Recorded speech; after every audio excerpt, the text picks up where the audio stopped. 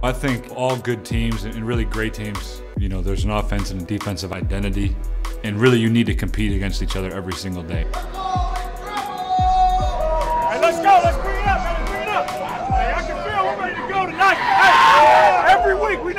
We know it starts today. We up front. Let's dominate. Dominate on three. One, two, three. Dominate. And, and the great teams are the ones that compete and really make each other better.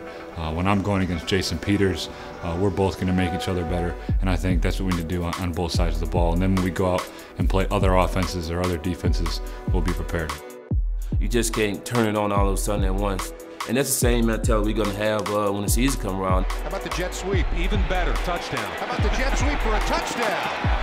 And Luck in some trouble. Gonna get sacked. Connor Barwin got him around the ankles. Look for fade. There it is. And he's there for the touchdown. Third down. Luck's in trouble, and down he goes once again. This time it was Bennie Logan who got to him. Our whole thing was to come out there and make a statement and let that statement, you know, go throughout the season. You know, once the ball kick off, every game from here on out is like a game situation because you can't take, you know, no game for granted.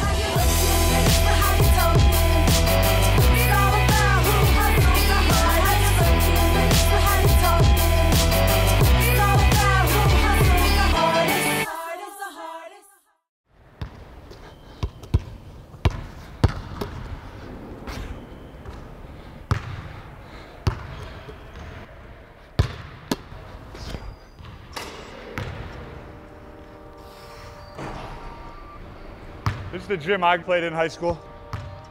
But when I played here, we used to fill the gym up. I mean, my school was definitely more of a basketball school than a football school. I thought I was a basketball player. I enjoyed it more. Basketball was, uh, you know, probably more fun than playing football, really. Maybe because I was supposed to be playing football. But whenever I come home, I always get a basketball workout in and a workout in the weight room. Get that? My whole career, I've made one big switch and I've made a couple small switches with, with schemes. Obviously, this is a switch from outside linebacker to defensive end this year. Uh, not as big as going from offense to defense, but it did prepare me early on, you know, that I'm capable of making those kind of switches.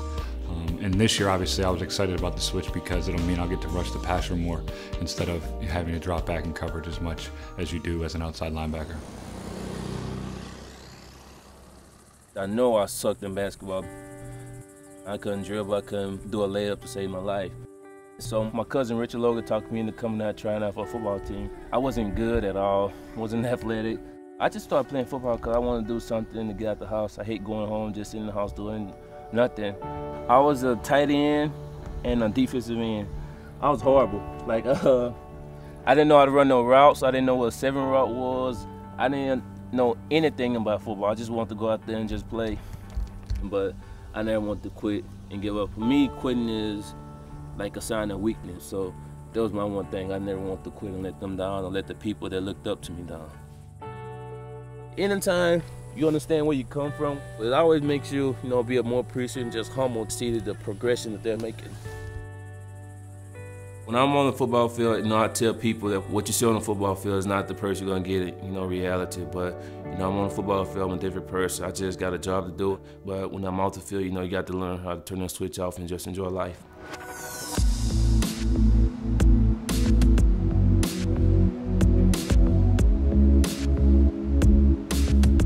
This training camp was my eighth training camp, and obviously it was a grind like every year is, but this one was one with a new system, a lot of new guys, new coaches, and it was really a six week process of uh, competing against each other, everybody buying into the new system, uh, and trying to get better every single day.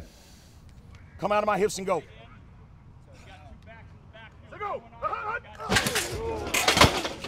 No, do it again.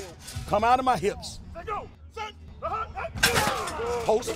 There it is. Good. Well done. That's it. I'll be next to Bennie for the most part this year. It's been great playing next to him. I didn't play next to him as much the last couple years because he's been in the middle. He's such an instinctive playmaker. Once he got, you know, the hang of what they was asked for, he pretty much was his natural. It's gonna be a great thing to see, you know, him uh, using his pass rusher skills to actually rush more than he was dropping in coverage the past couple years. And just from that inside position, he's somebody that shows up all the time making plays and really uh, can cover you if you make a mistake from time to time, and, and we'll do that for each other. Not only just, you know, embrace this last preseason game we're gonna play in, uh, just go out there, be dominant, and just, you know, take the same attitude and mentality to the season.